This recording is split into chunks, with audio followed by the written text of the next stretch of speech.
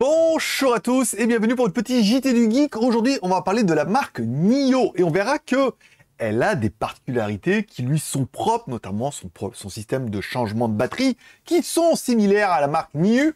Et on verra que le nom est similaire et c'est pas pour rien. Aujourd'hui, on va parler, avant de parler de la NIO des changements de batterie, on va parler des dernières nouvelles de NIO, le fabricant de voitures électriques chinoises.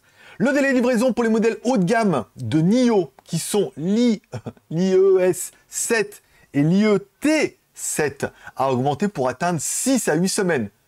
Euh, par contre, le délai pour la ES6 a été réduit, lui, de 3 à 4 semaines. Et comme quoi, tout arrive. Allez, on prend un peu. Le délai de livraison pour les modèles haut de gamme NIO ES7 et IE7 a augmenté pour atteindre... Alors, j'ai déjà lu ça. c'est pas grave. Voilà. Alors, mais la grosse information, c'est que l'annonce de NIO sur le début imminent de la livraison du nouveau ES8. Donc, le ES8, c'est... Euh, ça, c'est le l'ES6 et le l'ES8, voilà. Les... Euh... Et après, je repère ma ligne. Ça va pas y arriver, hein. C'est l'annonce de NIO sur les débuts imminents de la livraison du nouveau ES8 prévu pour le 28 juin, encore une fois, en Chine. Et une réduction de prix, donc deux bonnes nouvelles, de 1200 dollars sur le modèle haut de gamme. Les délais et prix et caractéristiques de ces voitures sont disponibles sur le site jtgeek.com si vous voulez plus d'informations.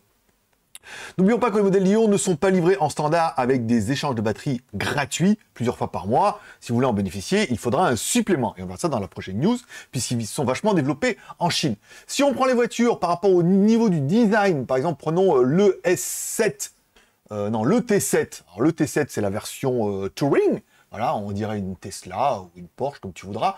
On pourra parler également de l'ES6, joli, un petit monospace comme ça, euh, j'aime beaucoup. Bon, bah, l'ES8 qui est là, hein, on a quand même sur la belle bagnole et tout. Voilà. Et on a regroupé un petit peu toutes les voitures et tout. Et ça, c'était la dernière, c'était l'ES7. Donc, vous voyez, un peu plus grosse que l'autre. Voilà. Donc, ils ont pas mal de modèles. Ils ont une grosse gamme qui est pour l'instant bah, vendue en Chine. Je sais pas si elle est vendue dans le reste du monde. Vous me direz ça dans les commentaires. On en parlera dans la prochaine news au niveau de l'échange de batterie, puisque c'est la seule marque à faire ça. On verra les avantages, les inconvénients et comment ils se développent en Chine. Si tu as aimé cette petite news pour découvrir une nouvelle marque, et certainement, après, on essaiera de, développer un petit peu ça, tu peux laisser un like si tu aimé la vidéo, un dislike si tu pas aimé la vidéo. Tu trouveras l'article complet sur jtgeek.com. Tu peux t'abonner si c'est pas encore fait. Moi, je te donne rendez-vous bah, bientôt pour la prochaine news JT du Geek. On parlera de l'échange de batterie et comment ils ont installé 1500 centres de plus en Chine. Incroyable.